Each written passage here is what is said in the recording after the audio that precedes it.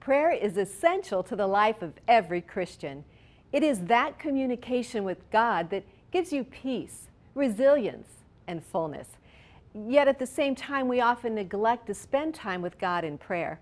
It is our hope here at TLN that you find that time for God so that you may grow closer to Him and so that you may discover more of how you can exercise your faith in the world around you. Today, TLN presents Dr. Bill Thrasher, professor at Moody Theological Seminary in Chicago, Illinois. As a teacher, author, and speaker, his heart is for the soul of the believer. May you be blessed and challenged as he speaks on giving God your first fruits. It's a delight to be with you today, and I'd like to talk to you about how do you return to Christ as your first love. That's what Jesus rebuked the church of Ephesus about in Revelation 2. And how do you overcome that condition that our Lord called lukewarmness, that was nauseating to him, that he talks about to the church of Laodicea? You know, there was a number of years ago, a Christian leader shared with me how he had taken the principle of first fruits and applied that to his time and this was many, many years ago, he was relating this to me. This is actually in the spring of 1982. And he mentioned how he had taken the principle of first fruits and as he had applied that to his time, as he had given the first of first few moments of his day to God, as he sought to honor the Lord with the first day of the week, the Lord's day. And also he talked about giving the first part of a year to the Lord. Now that was the concept that was the most foreign to me. But you know, when the next year came around, uh, I'd, I'd remember that conversation. And I'd written in my daytimer, okay, when January of 1983 comes around, I don't know exactly what it means, but I'm going to give the first part of the year to you. Well, I uh, was single at that particular time. I remember going through a number of my belongings and getting rid of things I really didn't need, and that helped a little bit. I remember looking over some past journals I'd taken over the years. And three things sort of began to come to the surface. And so the idea came to my mind why don't you go into this year trusting God for these three specific things that year? Well, that was a very, very special year spiritually. And so, you know, when the next year came around, I said, God, I'm going to do the same thing. I'd never had that kind of direction uh, for a year in that way. And so I asked God, God, what are the three things you want me to trust you for for, for, for this year? Well, I've done that each year uh, since 1983. There's nothing magic about the number three, but that's about as many as I think I can handle. And so I, I try to keep, uh, be attentive to the Lord in regard to what I'm learning in regard to those things as I lift those things up to Him in expectancy.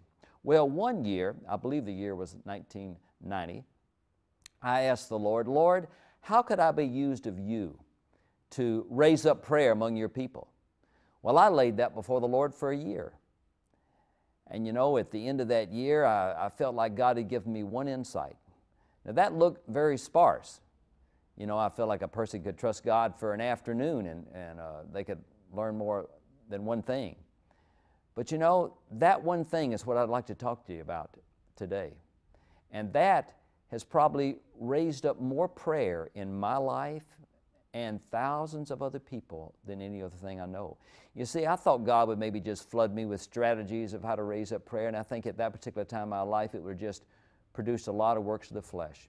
But the one thing God showed me was this tell God's people how to make use of their needy moments. You see, the wrong thought in my mind that needed to get uprooted was this. The thought I lived with was this Lord, one day I'm going to be strong enough and disciplined enough and whatever else enough to be a man of prayer. Well, not only has that day never come, but see, that idea is the very antithesis of prayer. Prayer, in the words of the Norwegian O Hallesby, the petition aspect of prayer, prayer is helplessness plus faith. You know, helplessness plus faith.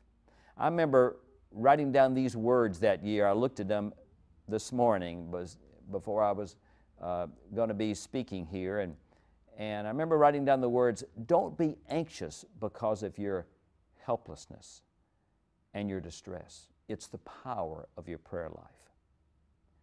You see, you can even stumble over that helplessness plus faith unless you understand what faith is. Faith is coming to Jesus with your helplessness. Now, let's say maybe you were putting together a very complicated jigsaw puzzle and you had your little three year old there with you. Would you expect the three year old to say, now, daddy or mommy or granddaddy, grandmommy, now I want you to put this little piece here? No, you would be just delighted that they were with you, and if they just threw the pieces in your lap, that would be just fine. Sometimes that's about all we know to do with God in regard to our helplessness.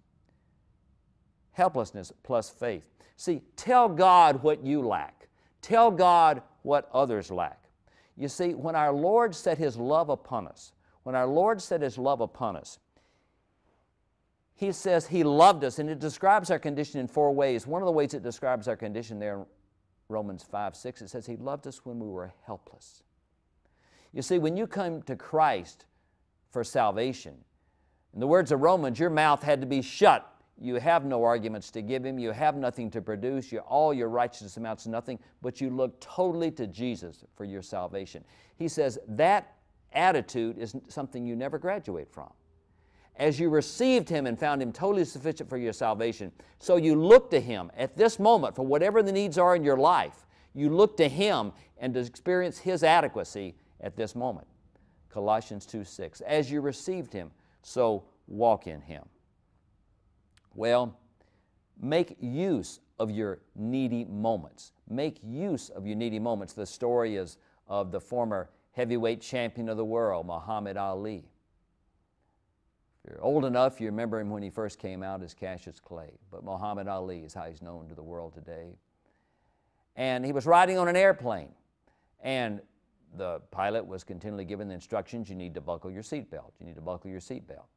And he just ignored it. And finally, the stewardess came over there to him, told him, You need to buckle your seatbelt. Which he replied, Superman don't need no seatbelt. Which he replied, Superman don't need no airplane.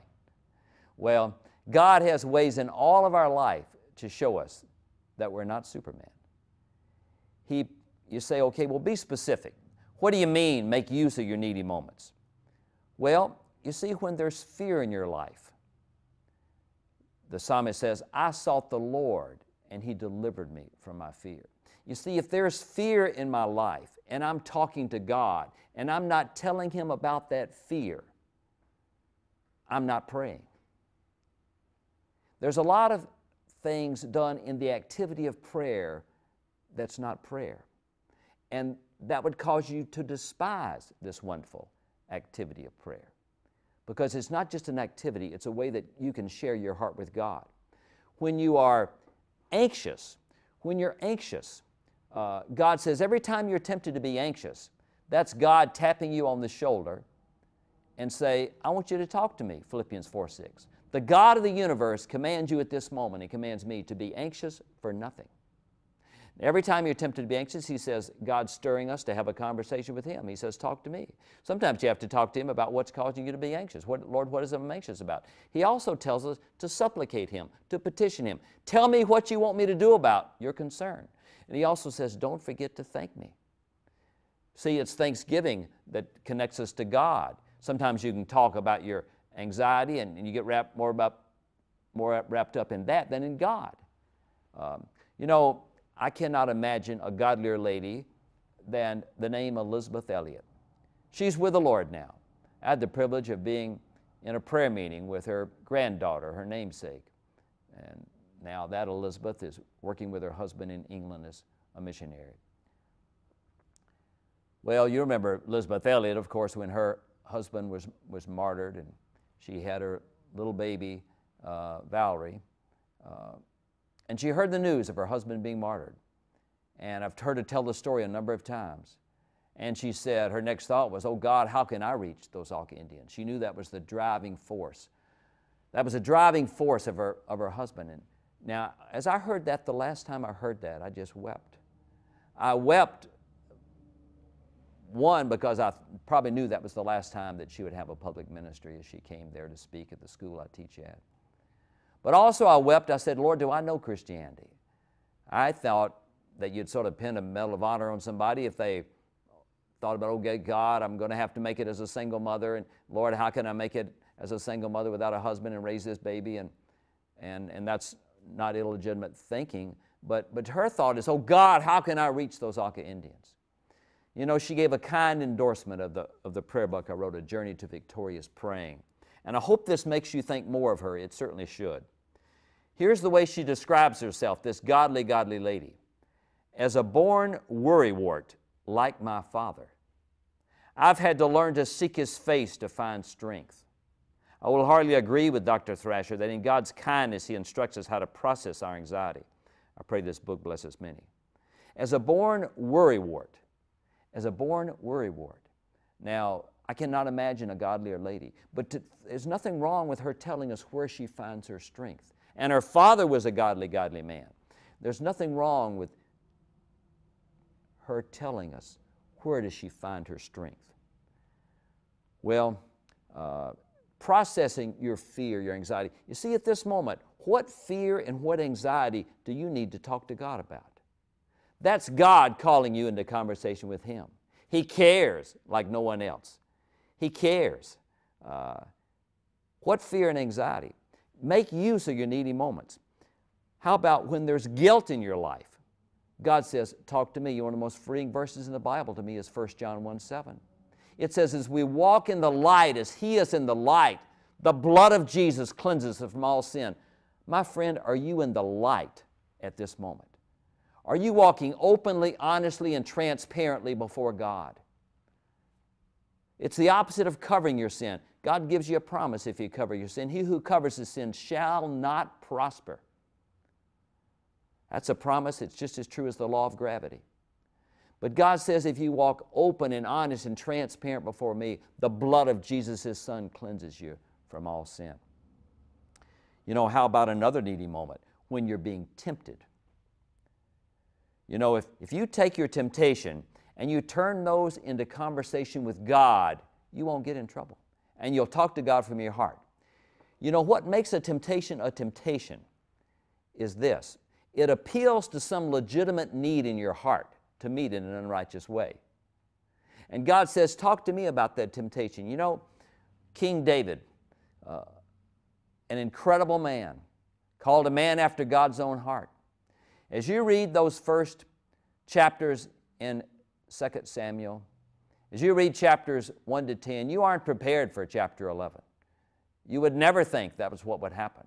He's stellar the way he responds to, to King Saul and doesn't retaliate. And, but then, in that moment of weakness, when he had that idle moment and he saw that beautiful woman, and you know the story there in 2 Samuel 11. If not, you can read it. And he looked and lusted and found a way to get to that woman and committed adultery.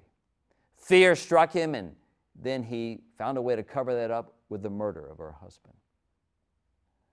He covered that sin and he lived in agony. Psalm 32 talks about that, that agony. It just sucked the life out of him. But God sent Nathan to rebuke him there in 2 Samuel 12. And when Nathan rebuked him, he gave him these words. And I want you to hear this when you're being tempted. And I want you to see how real God can be with you in your, in your temptation.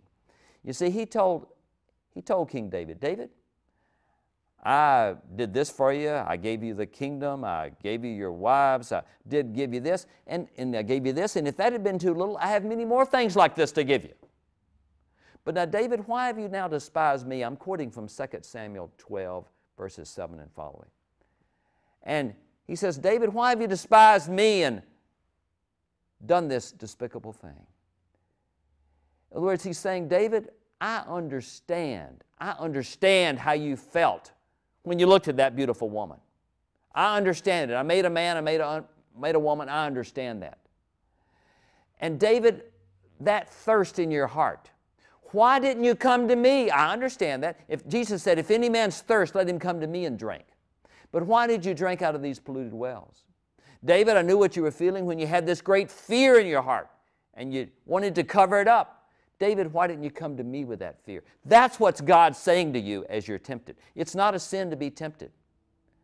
I ask you to come boldly to that throne of grace. I remember a, a precious student of mine sharing this story, gave me permission to share it. I've never shared his name, but he said he was struggling with an ungodly habit in his life.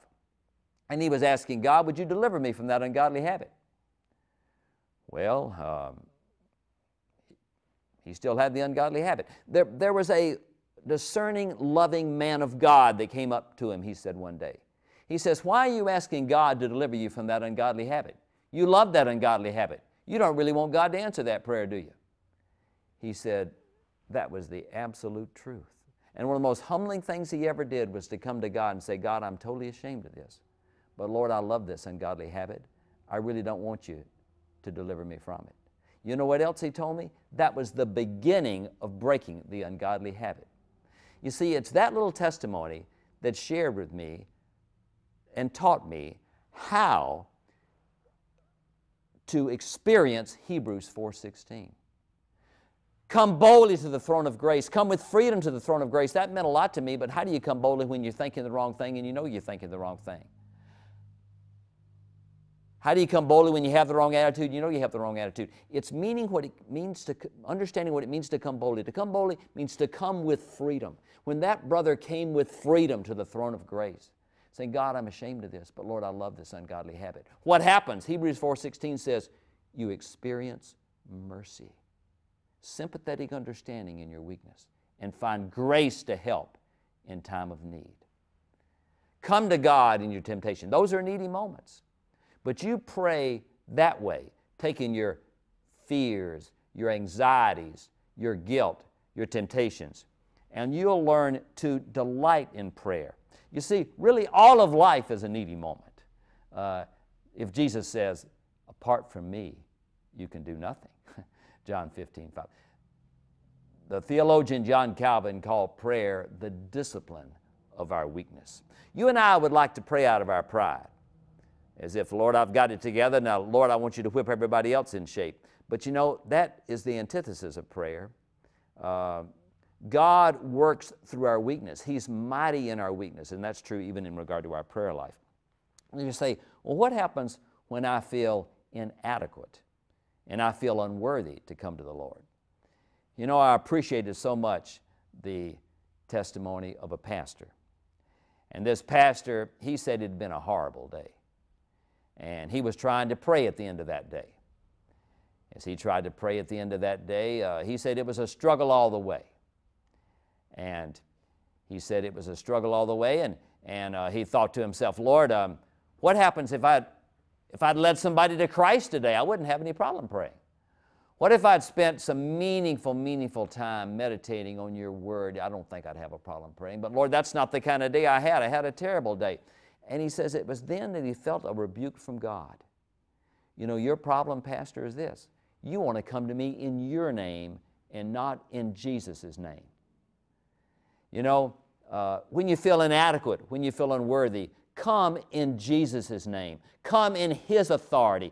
You know, He shed His blood to earn every blessing of heaven for you and me. I will never deserve that. You will never deserve that. But I'm to humble myself and allow Him to be gracious to me. You're to humble yourself and allow Him to be gracious to you, maybe even at this moment in, where you may feel inadequate or you may feel unworthy. Would you come to God in Jesus' name? That is prayer and using your weakness to help you. You know, let me tell you a way of God, a way of God. God, remember Moses prayed, Teach me your ways that I may know you. A way of God is this that God wins his victories in the midst of apparent defeat. You see, uh, in that times of apparent defeat, uh, where you feel like giving up, you feel like despairing, God brings us low to cry out to Him. You know, that principle is as biblical as the death and resurrection of Jesus. When Jesus was crucified and laid in the tomb, it looked like apparent defeat. It looked like the enemies of wickedness had won. But oh, God was winning His very greatest victory. And after that came the resurrection. God wins his victories. Now, I don't know what you're going through at this moment, but there may be some apparent defeat. There may be those fiery darts of despair that are being thrown at you. And God wants you, maybe you need the help of others. And we're willing to help you right now and pray that God would strengthen you to cry out to God.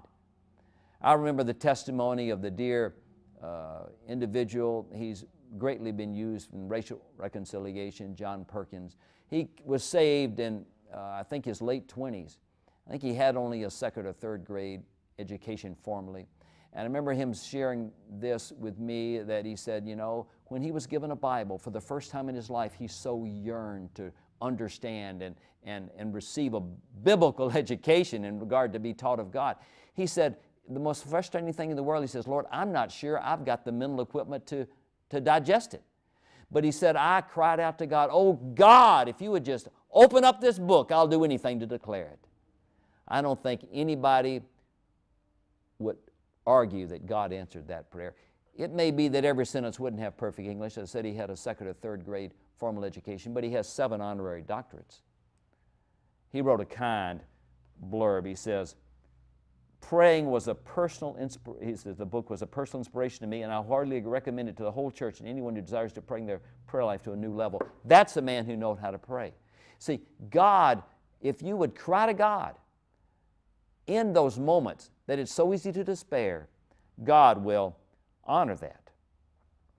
You know, let me share with you something that I think you can readily use, something that every day of your life will help you.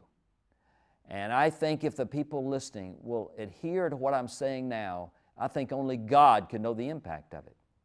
And it is simply this.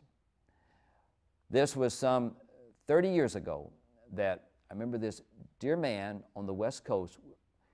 He was leading a number of people to Jesus from some very hard backgrounds. And here's what he told them He says, Now that you've come to Christ, you're going to be tempted to go back to some of those wrong choices. But here's what I want you to do I want you to ask God to give you a prayer request, a prayer burden, that every time you're tempted to go back to that wrong choice, I want you to take it as a prompting to pray this prayer. He says, Let it be a prayer that will damage Satan's kingdom as God answers it. It's no more complicated than that. It took me a while to work that in my life, and I don't know why I did. I've shared this with thousands of people. In fact, if uh, we can't do this here in TV land, but I've had students in my class. I say, okay, I want you to write down your most persistent temptation. Write down your most persistent temptation. Not a sin to be tempted. Write it down. And before I let you leave, I'm going to ask you to every time you're tempted in that way, how are you going to respond in prayer? What prayer request is that going to prompt you to pray? Think of every time a man was tempted to have an impure thought. He prayed for the purity of his children. Think of every time you were tempted to be discouraged. You prayed for the encouragement of your Christian leaders.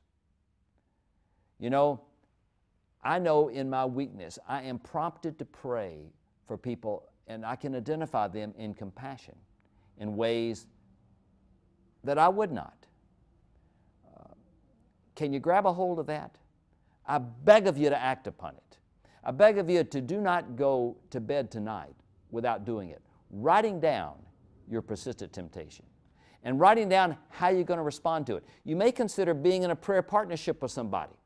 Saying, you know, every time I'm tempted, I'm going to pray for you.